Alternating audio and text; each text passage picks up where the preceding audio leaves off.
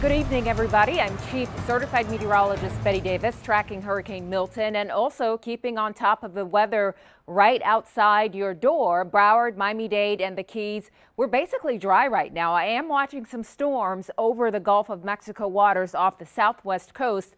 Been keeping an eye on these to see if they're starting to work their way eastward, but they've basically just been sort of hovering over the Gulf waters. We'll keep an eye on it and see how it all evolves heading into to the night. Maybe some of these strong storms capable of producing winds gusting to about 40 or maybe even uh, an isolated tornado or uh, water spouts. Maybe some of these storms finally meet up with the southwest coast. At the very least, I think we'll have to watch the lower keys to see if some showers and thunderstorms try to build down in your direction. But for now, I think we'll keep it relatively quiet for the next several hours and possibly through the overnight, especially for Dade and Broward.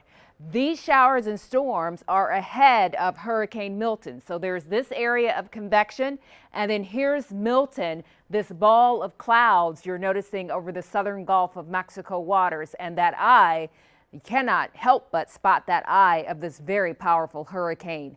Maximum sustained winds of 165 miles per hour. It is moving east northeast at 10 miles per hour and it's about 440 miles at this point, under 440 miles southwest of Tampa. Now, as it's moving east northeastward and closing in on Florida's west coast, it'll be pushing water toward the shore, and that water's going to pile up, and that will lead to storm surge a life-threatening storm surge forecast for parts of the west coast, in particular from the Tampa area to just south of Sarasota, the storm surge forecast up to 15 feet. Nobody surviving that.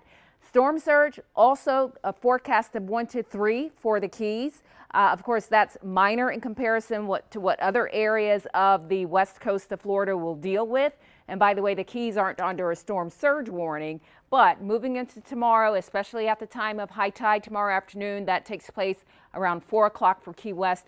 We'll look for some of that minor saltwater inundation. So there's the tide forecast for tomorrow. Here's a look at what we expect for the winds in the Keys. Starting tomorrow morning, we could start to feel those winds gusting 40 to 50 plus miles per hour. We'll start to see some of those off and on rain bands starting to work in toward the Keys and South Florida. Wednesday night into Thursday, Dade Broward, that's when I expect our area to start to feel 40 to 50 mile per hour wind gusts. Won't rule out a brief tornado. Maybe get a quick spin up in some of the cells that come in with the rain bands. We'll have a lot more on Milton as we track it. Let's get you back.